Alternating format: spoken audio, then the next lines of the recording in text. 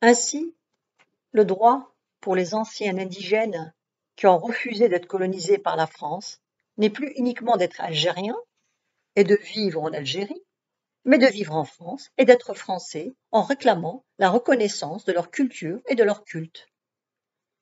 Même si culture et culte sont en contradiction avec les droits de la République. Cette République vis-à-vis de laquelle ils n'ont aucune obligation parce que leurs parents ont été colonisés et réduits à l'indigénat, parce qu'ils sont la preuve vivante que cette République est parjure. C'est dans cet esprit qu'ils revendiquent le droit de se voiler pour les femmes et l'abolition de la loi contre le voile à l'école qu'ils qualifient de raciste et d'ethnique. Nous savions déjà que c'est toujours sur le corps des femmes que se font les guerres identitaires. Une de plus. Ils ajoutaient ainsi leur voix aux différentialistes, aux culturalistes, aux islamistes. Tous pêchent dans les mêmes eaux troubles où s'amalgament l'identité victimaire, la différence, l'opposition à la culture dominante, les luttes antiracistes, le sexisme. Les nouveaux indigènes de la République, comme la gauche radicale française, mettent la culture sur un pied d'égalité avec les droits de l'homme.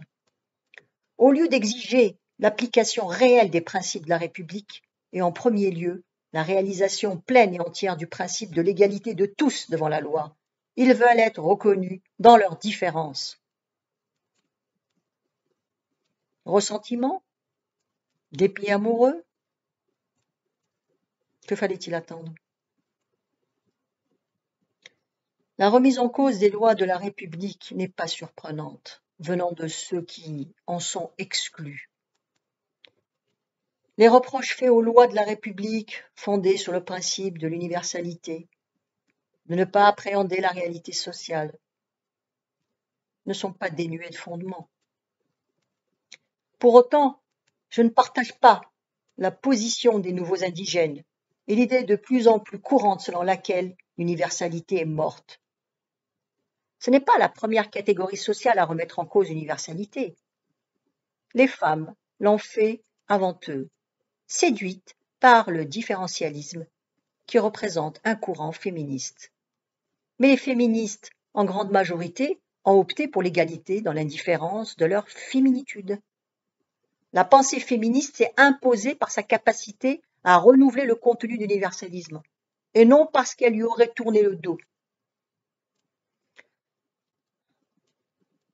Devant ce besoin de reconnaissance des populations issues de pays anciennement colonisés, qui ont fait le choix difficile et ambigu de devenir français et de vivre en France, comme devant le besoin de reconnaissance des jeunes filles voilées,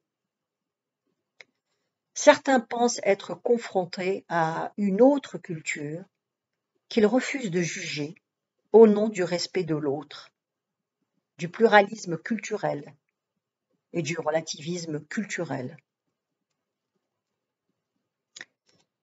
Ils se perdent dans les analyses alambiquées du multiculturalisme, interculturalisme, postcolonialisme, alors qu'ils sont en face à un sous-produit de leur culture et de leur histoire soumise au surgissement des minorités.